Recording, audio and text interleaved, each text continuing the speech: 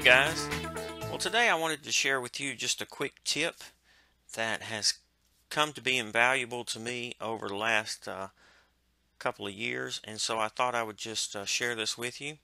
If you're ever in Mach 3 and you're running some G code or you're just starting to get it set up and you're looking through your G code and you have to do some editing so you go to edit G code and it pulls up your notepad here and you're going through here and you see something like a G28 and you don't know what a G28 is.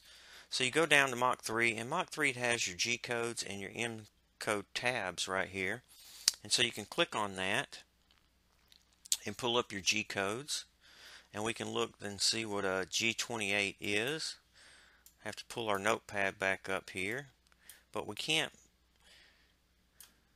pull up our M code and our G code, just our G code. So we can see G28 is a return to machine home parameters. We want to pull up our M codes, we can do that and see what our M codes are. And it's very convenient that Mach 3 has this on the program. That's nice, so you can kind of go through and see what all your different uh, commands are. Make sure, make any changes you need to.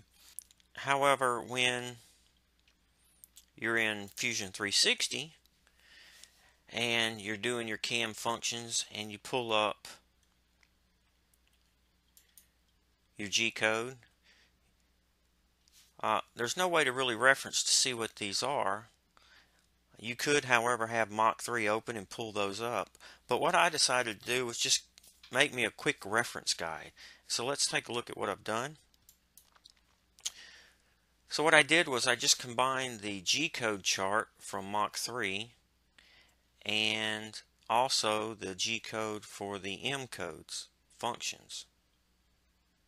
I've combined them both onto one sheet and now it's a little bit easier to see and reference when I'm using Mach 3 or trying to edit some of the G code.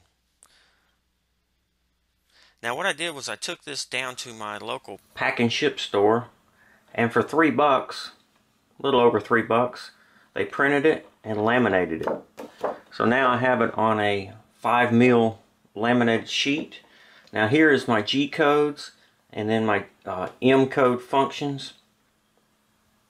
And then for the uh, M code macros, I put those tables on the back our M6, M9, M7, spindle, that sort of thing. I had him print that on the back. So, turned out really nice, and now I can have these handy. I made me a couple, and uh, I'm going to put one on each machine. If you're interested in this file, I'll post it in my Dropbox and put a link in the description of the video.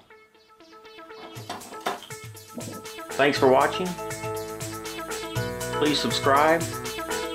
Thumbs up if you like the video. And most importantly, be safe.